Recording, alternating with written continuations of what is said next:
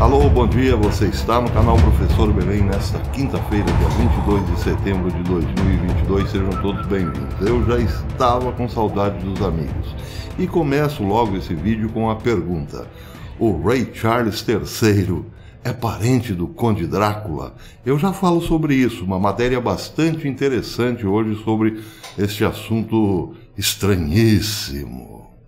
Mas estranho mesmo, meus amigos, é uma exposição de arte que aconteceu em Belzonte, Minas Gerais. É, eu, minha esposa já havia recebido as imagens estranhas, também muito estranhas, dessa exposição acontecida na capital de todos os mineiros. E agora eu vi uma reportagem, aliás, a matéria é de ontem, do Jornal da Cidade Online, falando sobre a tal exposição. Diz a matéria Exposição de Arte em Minas Gerais chama atenção por conteúdo demoníaco e frases como Deus está morto.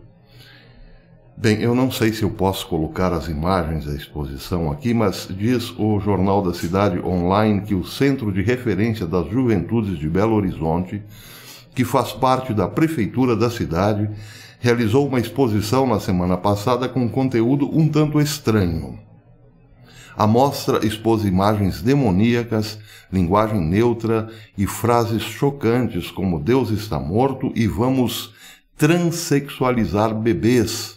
E também não há nada que você possa fazer contra isso, diz a matéria. Questionada, a prefeitura soltou uma nota afirmando que não compactua com as manifestações de ódio ou que viole os direitos humanos e disse que o conteúdo foi retirado da exposição. Abre aspas. Tomamos ciência de que a exposição CAU, CAU SCRJ 22 sofreu algumas intervenções ofensivas e que violam os direitos humanos nas obras, sem comunicação ou autorização da produção responsável pela exposição, nem do Centro de Referência das Juventudes.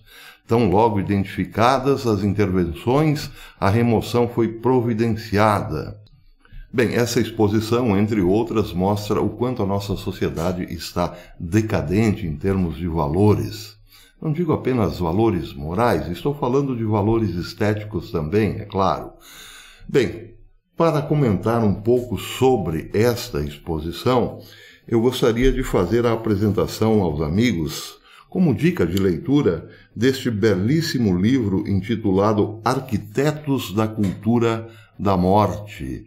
Ele foi escrito por Benjamin Weicker e Donald DeMarco. O livro é muito interessante porque, em primeiro lugar, mostra que há um projeto construído a partir de certos filósofos impostores, mentirosos e bastante desvirtuados, para dizer o mínimo, isso desde o século XVIII, para que a sociedade entrasse sim numa decadência moral sem precedentes, onde todos os valores seriam substituídos por contravalores ou antivalores. O livro é muito bem escrito e parte da seguinte estrutura. Eu vou ler aqui só um pedacinho dessa estrutura que está no índice. Ele aborda várias formas de. Perdão, deixa eu pegar aqui o meu outro óculos. Ele aborda a decadência moral da sociedade em etapas. Começa, por exemplo, falando dos cultores da vontade, aqueles que determinaram que a vontade é uma coisa ruim, porém impera sozinha, começando por Arthur Schopenhauer, passando depois por Friedrich Nietzsche, terminando com Ayn Rand. Depois fala o livro sobre os evolucionistas eugenistas. Claro, não poderia faltar Charles Darwin, por exemplo, Francis Galton e Ernest Haeckel. O terceiro ponto abordado pelo livro são as utopias seculares, onde os nomes que se destacam aqui são o de Karl Marx e Auguste Comte. Depois, os existencialistas ateus, como Jean-Paul Sartre e Simone de Beauvoir. Também fala na parte 5 dos caçadores do prazer, como Sigmund Freud, William Reich, por exemplo, são os mais importantes nomes aqui. A, pa a parte 6 fala sobre os engenheiros do sexo e a parte 7, os promotores da morte. Bem, o livro é bastante interessante e começa de forma muito objetiva dizendo que, para alguns filósofos, principalmente os filósofos a partir do século XVIII ou XIX, já tratavam a realidade como uma coisa ruim. O livro é objetivo porque diz que o problema da filosofia começa exatamente na, na, tentativa de equacionar o problema entre a aparência e a realidade. E aí, claro, não poderia deixar de, de começar por Platão, que via na realidade algo bom. O problema de Platão, todos sabemos, era também este em estabelecer qual era a diferença entre a aparência das coisas e a realidade das coisas. Então, ao abrir a porta da realidade, percebeu que era uma coisa boa sim, que compunha-se de ideias eternas. Depois, com o cristianismo e toda a Idade Média, os filósofos, evidentemente, continuaram com esta determinação de dizer: olha, a realidade é boa, ela não é inimiga do homem. Diz também os autores, diz uh, o livro, que também os autores, os filósofos modernos, pelo menos de Descartes até Hegel, não tinham nenhum problema em dizer que a realidade não era ruim. O que, na verdade, todos esses filósofos queriam era dizer o que a coisa em si mesma significava. Bem, para não complicar muito, os cristãos entendem muito fácil essa questão da coisa em si, aquilo que é real em si mesmo. Por quê? Porque temos uma concepção, pelo menos os cristãos, temos uma concepção de que a realidade é Deus. Deus é quem funda a realidade.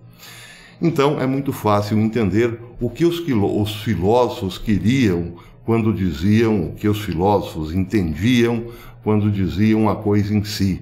Não se tratava, evidentemente, do Deus cristão, mas se tratava, sim, daquilo que é incriado, daquilo que tem a vida em si mesma, em si mesmo. Nós, por exemplo, todas as outras coisas não temos a vida em nós mesmos, mas dependemos de outro para existir. Não só o ser humano, os animais, mas também os objetos e materiais. Nada disso que está aqui ao nosso entorno veio de si mesmo. Somente Deus é que vem de si mesmo, ou seja, Deus incriado é o fundamento da realidade. Bem, os filósofos que abriram essa porta, claro, descobriram que a coisa em si, ou Deus, era bom e queria o bem da sua obra, o bem para a sua obra ou para a sua criação, principalmente o bem da humanidade, que seria, no caso, a cereja do bolo. Acontece que, mais ou menos aí entre os séculos XVIII e XIX, um desses filósofos que ousou abrir esta porta descobriu não algo bom, mas algo terrível em relação à verdade última ou à realidade suprema. Fala o livro que este filósofo é Arthur Schopenhauer, que ao abrir a porta da realidade, descobriu que o que existia em si mesmo, como Deus, fazendo uma analogia com o cristianismo, era a vontade. E a vontade, neste caso, era uma força cega, uma, um impulso sem nenhuma razão de ser, sem nenhum objetivo, uma força assombrosa que se personificava na natureza. Bem, isso era terrível porque essa vontade cega não tinha o contrapeso, por exemplo, da razão. Era apenas uma vontade, e isso também todo mundo entende facilmente. Ora, a vontade todos nós temos. Quem não tem, por exemplo, a vontade de sair por aí pelo mundo para viajar? Mas aí vem a razão. E a razão pergunta: temos dinheiro para viajar? Entre outras cocitas. Pois é, nesse caso, no caso de Schopenhauer, que descobriu que a vontade última, ou melhor, que a realidade última é a vontade, esta não encontrava o freio da razão. Era puramente cega e racional, sem motivo, porém, o poder absoluto sobre todas as coisas. E ao usar a natureza para se personificar, a vontade mostrava ser sanguinária, por assim dizer, ou pelo menos, no mínimo, muito cruel para com o ser humano. Por quê? Porque a vontade, ao se manifestar, mostrava apenas o desejo de aniquilação, aniquilação do indivíduo, por exemplo. Assim, a natureza produzia as coisas e os entes, os seres, para a vontade os devorar. Uma filosofia bastante assombrosa, porque para o homem não restava nada, segundo Schopenhauer, senão aceitar este fato de ser um mero objeto um joguete nas mãos da vontade, ou então buscar refúgio, fugir dessa realidade. Aliás, Schopenhauer fez esta opção de fugir dessa realidade por ser tão cruel. Buscou a arte. Para Schopenhauer, as fugas poderiam ser tanto na arte quanto na vida ascética. Então, ali havia um consolo isolar-se da realidade, fugindo em direção à arte ou à vida ascética para não ser esmagado pela realidade, porque afinal de contas a realidade era uma coisa ruim. A vontade, nesse caso, sem o controle ou sem a contraparte da razão, é uma força cega que nos destrói desde nós mesmos, porque ela nunca pode ser satisfeita. Então Schopenhauer refugiou-se do mundo e buscou refúgio, e buscou e buscou consolo na arte, porque não, poder, não podia encarar a vida tal como ela era, já que a realidade era má e perversa. Bem, é claro que Schopenhauer abre o caminho aqui para várias distorções ou vários fenômenos psíquicos que acabam influenciando em todo o século XIX, XX e XXI, qual seja, o do desânimo, do pessimismo puro e também do ateísmo. Sim, porque o Deus de Schopenhauer, por não ser um Deus bom e por não ter nenhum plano de bondade em relação à sua obra, é um Deus esmagador, um Deus que não dá alternativa nenhuma senão o desânimo. A vida para Schopenhauer, portanto, não presta, ela não tem sentido. O melhor é sair dela o quanto antes. Estava aberto o caminho para o ateísmo, mas estava também aberto o caminho para todas as perversões do ego. O pessimismo, nesse caso, é a própria arquitetura da filosofia de Schopenhauer e compreende-se porque a sua lógica é absolutamente pessimista. Ora, de que vale ao homem vir à existência se ele entra num mundo completamente hostil, cujo Deus o criou para humilhá-lo, esmagá-lo e depois devorá-lo completamente. Como lutar contra este Deus, que é apenas uma vontade cega e que sente prazer na dor e no sofrimento? Bem, acontece que ao abrir a porta para esta terrível realidade, diz o livro, o que Schopenhauer viu foi, na verdade, a si próprio, uma pessoa adoentada, com muitos problemas desde a mais tenra infância, porque o livro lembra que o seu pai, por exemplo, suicidou-se, ou pelo menos pairou uma suspeita de que havia se matado, sua avó já havia tirado a própria vida, e sua mãe, depois que ficou viúva, embarcou naquela onda do amor livre, se é que me entendem. Bem, Schopenhauer tinha uma relação difícil com a mãe que competia com ele. Aliás, a mãe o empurrou de uma escada abaixo numa determinada ocasião. Schopenhauer tornou-se amargo, solitário e bastante contraditório, confuso. Essa amargura ele levou até o fim da vida, e quando abriu a porta para a realidade, encontrou a si mesmo e disse: Estão vendo? A realidade é cruel. Bem, o problema é que Schopenhauer deu a estrutura para tudo que viria depois de ruim dentro da filosofia, como, por exemplo, o próprio Nietzsche, um dos seus discípulos, que chegou a dizer Deus está morto. É esta frase que está aí na exposição artística de Belo Horizonte. Deus está morto. Nietzsche também era outro grande impostor, porque, seguindo na trilha de Schopenhauer, tudo o que viu foi uma vontade de poder que ele próprio não tinha. O livro o descreve como uma pessoa fraca, adoentada e com muitos problemas, por exemplo, de intestino. É, desce até esses níveis. O fato é que Nietzsche quis ser um soldado e não conseguiu, foi dispensado por causa dos seus problemas de saúde, evidentemente, e de fortes desinterias. É. Nietzsche era um fracote, mas queria parecer grande, queria parecer o próprio anticristo ou a vontade de poder em si mesmo. Pois é, uma impostura, um fingimento, claro, mas que atraiu muita gente. Também nesta mesma trilha, o livro cita Ayn Rand, uma filósofa bem contemporânea que caiu no gosto da juventude. Por quê? Porque trata a compaixão, o amor ao próximo, o altruísmo, enfim, a caridade cristã como uma doença. É, ela afirma que a libertação está no puro egoísmo. Bem, depois iremos para a seleção natural de Charles Darwin e também para o eugenismo de um parente seu, até chegarmos em Karl Marx e tudo o que decorre do seu pensamento na forma de comunismo, até a pura propaganda da sexualização infantil, mas isso já bem lá para frente. O que Schopenhauer fez foi exatamente isso: a destampar a caixa de Pandora e soltar todos os demônios do pensamento ocidental, por assim dizer.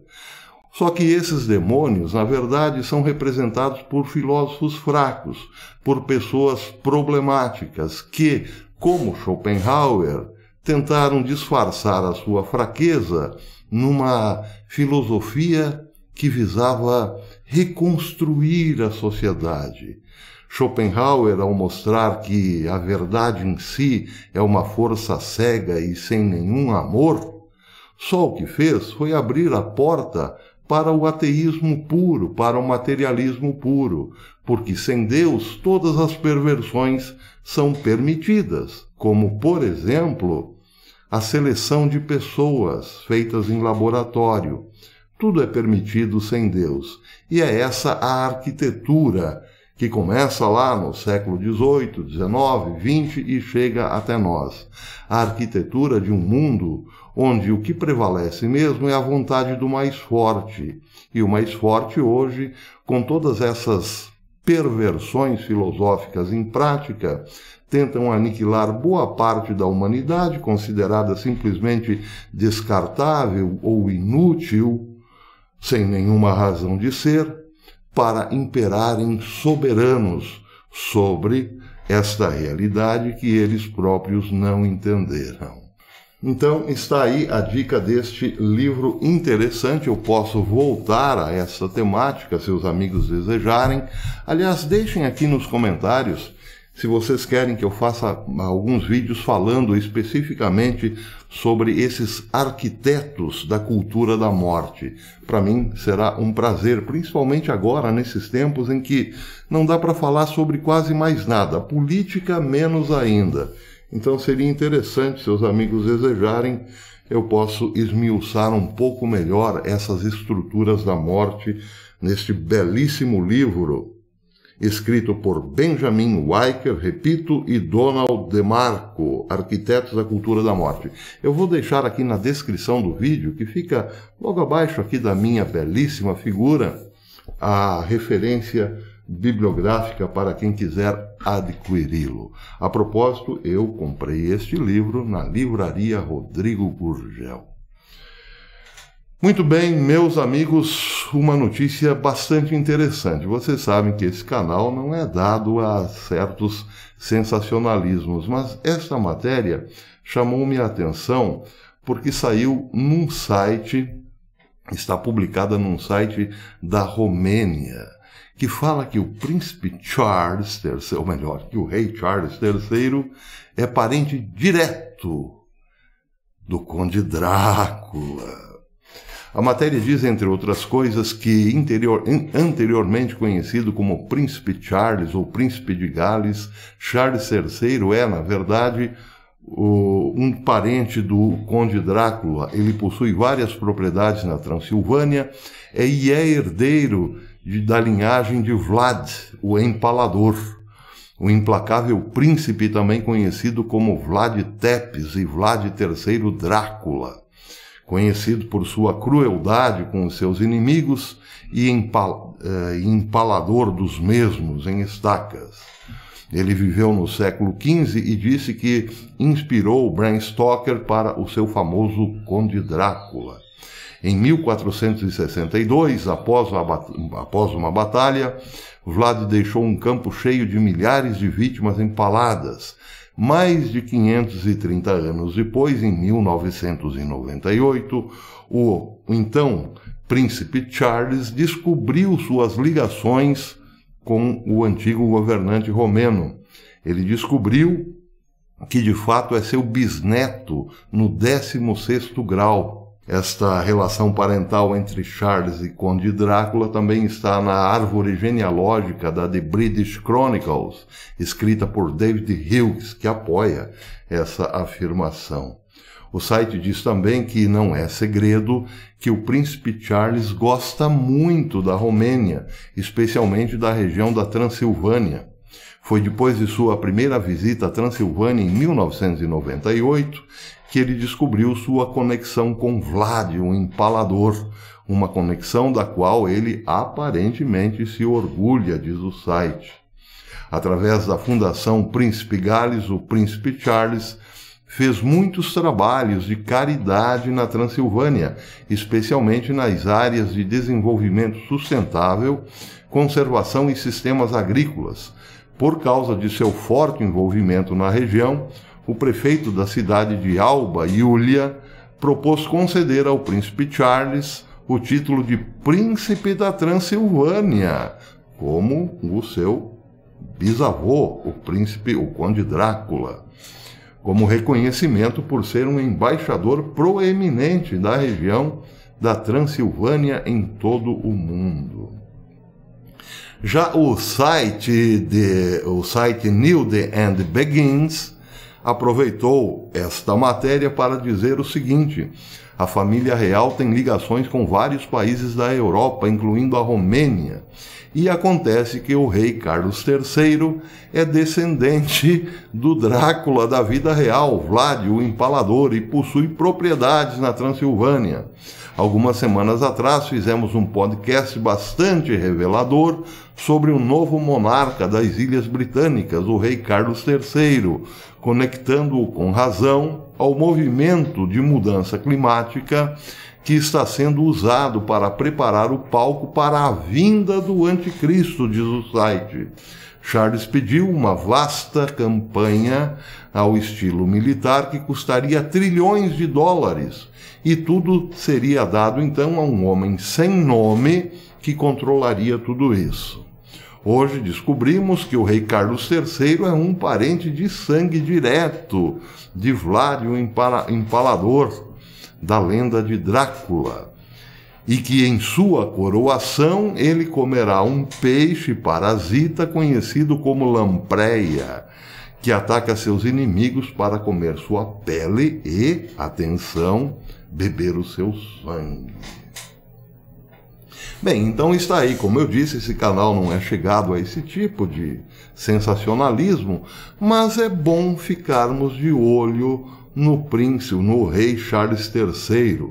Se ele é descendente de Drácula ou não, isso pouco importa. O que importa é se ele usar as políticas do empalador para estabelecer sobre a terra um reino de terror, o que não é tão distante assim da realidade, já que falamos que hoje o mundo é controlado por pessoas doentes e, via de regra, falsas, fingidas, mentirosas, etc. e tal. A doença está na crista da onda. Se este for mais um pobre humanidade. Bem, ele já andou dizendo sim que o mundo precisa de uma polícia especial para cuidar do planeta. Atenção, quando eles falam em planeta, eles estão se referindo àquela natureza de Schopenhauer, que é a personificação da vontade Então, a vontade, nesse caso, para nós cristãos que entendemos a realidade a partir da Santíssima Trindade, a vontade seria o equivalente a Deus Pai. A personificação de Deus Pai, nesse caso, da vontade, seria a natureza. Só que aí falta o Espírito Santo. O Espírito Santo é aquele que comunica a relação entre o Pai e o Filho. Nesse caso, nesta trindade maldita ou invertida, o Espírito Santo tem muitos candidatos a sê-lo, como, por exemplo, o próprio Schopenhauer, que apareceu no mundo filosófico como aquele que veio comunicar a realidade. Deus é a vontade e o Filho é a natureza. Então a natureza, nesse caso, é sim tratada com, como uma divindade. Quem sabe o príncipe Vlad, aqui, ou melhor, o rei Charles III, não queira ser mais um desses candidatos ao Espírito Santo e revelar, por exemplo, a divindade absoluta da natureza. Aí, meus amigos, aí, aí eu largo Betes por enquanto é isso. Então não esqueça, se você quiser que eu fale um pouco mais deste livro, deixe a sua opinião aqui nos comentários. E se puder, deixe também o seu joinha, o seu like. E se puder também, inscreva-se nesse canal ou torne-se membro. A membresia é baratinha, R$ 2,99 ou 6,99 reais ou R$ 7,99. Tem também um plano bem alto para aqueles que amam o canal de paixão, 99 reais e 90 centavos. Por enquanto é isso. Até depois, se Deus quiser.